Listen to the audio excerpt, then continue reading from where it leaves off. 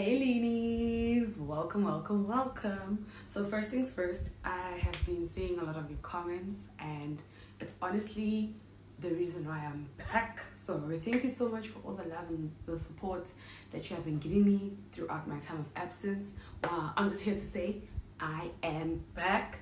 And on that note, please do comment with like particular topics that you would me, want me to cover whether it be geography, grade 10, 11, 12, or life sciences, grade 10, 11, 12 as well. And yeah, without wasting any more time, let's get on to it. So, the title of today, we will be working with synoptic weather maps. So, yeah, I love synoptic weather maps because all the answers are on the map. Like all of them. You just need to know how to interpret the map and you will literally get full marks. So, yeah, let's do this. Okay, so remember when I had mentioned that all the answers are on the map? Well, to be able to find the answers on the map, you need to know what the different symbols mean. So, this image shows you all the various symbols that you can expect to find on a synoptic weather map. So I'll skip the weather ones because those are straightforward. But with cloud cover, as you can see, if it's an empty circle, the answer is none. So let's say the question says, what is the cloud cover in Durban? And you see that it's a circle that is not shaded, that's an empty circle, is none. Whereas on the other end, if it's a full circle and it's shaded and it's all black, it's 8 over 8, but the answer would be overcast. So yeah, it's overcast if it's that way, or half, or a quarter. But most of the time, they seldom ask the other ones. From the questions I've seen, it's usually half, a quarter, overcast, none, you know. So they don't try and trick you too much there. And then with wind speed, they love this question. I bet you they love this question. So be able to understand that wind speed, wind speed on a synoptic weather chart is depicted in knots. So as you see here, 10 knots is one one tail thing. It's one little tail like thing on the line. But then half a knot is half of that line. And someone once asked me, how can you tell if it's half or 10? I mean, how how you can tell if it's 5 or 10? The the line is far shorter than it would be if it would be a full one. And then in terms of temperature, maximum temperature will always be on the top and the minimum temperature will also be at the bottom. But also you can kind of tell that, okay, the smallest temperature is the minimum. So those are things that you can be asked, you know, like give the maximum temperature uh, at the weather station in Durban, then you'll say the maximum temperature is 17 degrees Celsius, the minimum temperature is 5 degrees Celsius. So that's an easy five marks most of the time.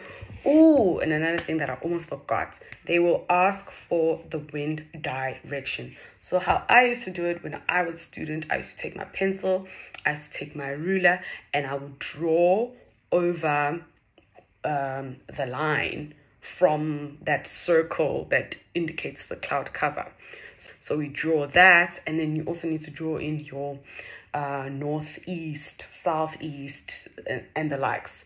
Basically, draw that, and then you'll be able to um, get the direction and get your marks. I know it's a bit more effort than all the other answers, but it's also not very difficult to get that. Okay, so now that you understand the symbology, let's go into the maps. So most of the time, you will be shown either a summer map or a winter map. And they will ask you, what type of map is this? Based on what you can see on the map.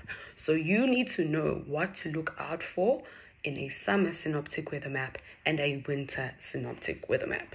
So we will start off with the summer synoptic weather map. So with the summer synoptic weather map, the high pressure cells are southwards and basically away from the land in South Africa.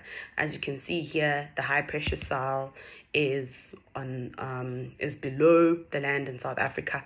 That tells you that that is a summer map. You'll see the difference when we get to a winter map. And then another thing is that the South Indian high pressure cell is on the west coast of the country. So that's another clue or that's another that's another piece of evidence that tells you that it is a summer synoptic weather map. And then low pressure cells, they are like all over the interior. So that's another piece of evidence that you will know that, oh, okay, this is a summer synoptic weather map. And then temperatures. That's actually the easiest, but sometimes you cannot see the, the temperatures. That's why I started off with the high and low pressure cells. So obviously a dead giveaway is temperatures. In South Africa in summer, temperatures are generally between the 20s or high 30s, low 30s. So basically those those temperatures.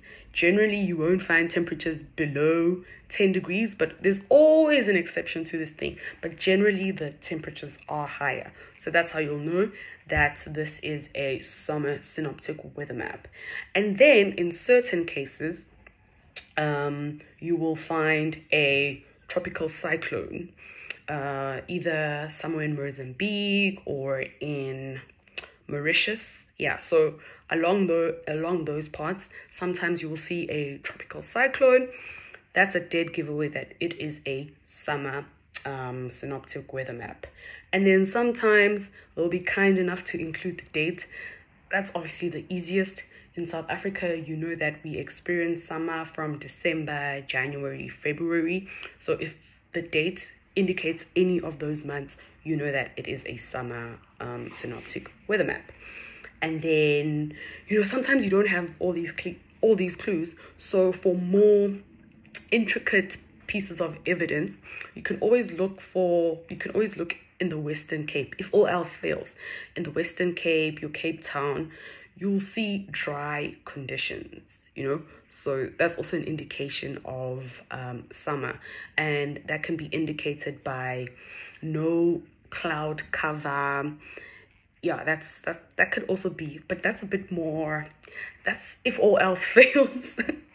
And then another piece of evidence that you can look at is the fact that mid-latitude cyclones will be to the south of the country south of the land basically in south africa. Then you know for sure that that is a summer map. So as i said guys all the answers on the map. You just need to know what to look for. Okay, now how do you know if it's a winter synoptic weather map? So remember in summer, the high pressure cells were away from the coast. They were southwards.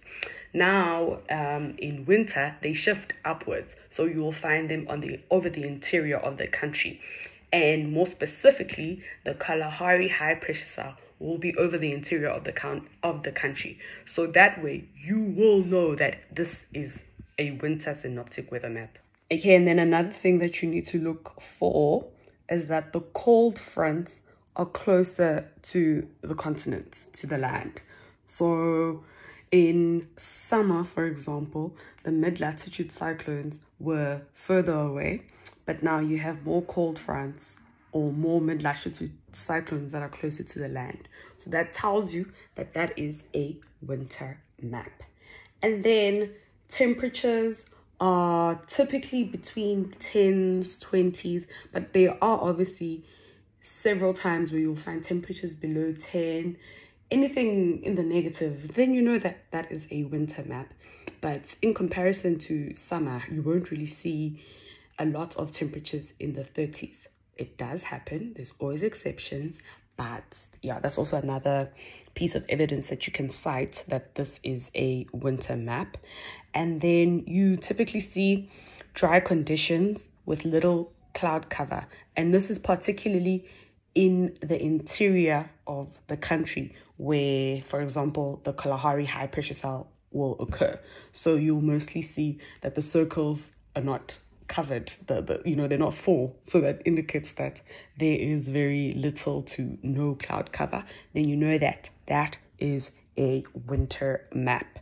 And then another thing that you can look for is that there's often rain in the western um, cape. If it's not rain, the cloud cover is typically overcast, and that's in winter, whereas other parts of the country have no no cover or very little cloud cover. So those are some of the ev evidences. That's some of the evidence that you can cite or state when asked why it's a summer or a winter synoptic weather map. And okay, so the question says study figure two showing a southern African synoptic weather map and answer the questions that follow. Question one Name each of the high pressure systems A and B. Although we didn't cover it in this lesson, but you have been taught this.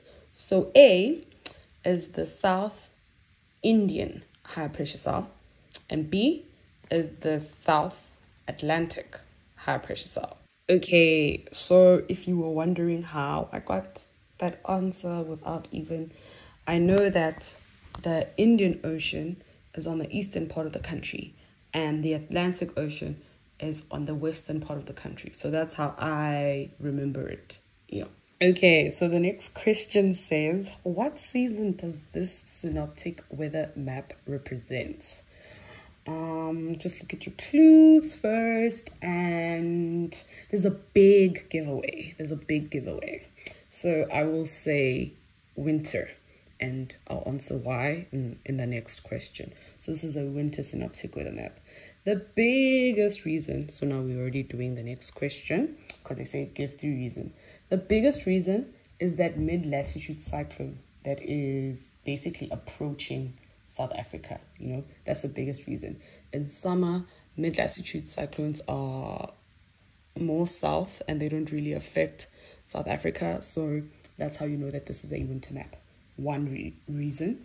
The second reason is that the temperatures are generally low. For example, in Bloemfontein, temperatures of 19, the maximum, and minus 6. You know, you've got 17 and minus 4. So the temperatures are generally low. That is the second reason. And then the third reason is that generally over the interior of the country, there is no cloud cover. So that would be another reason.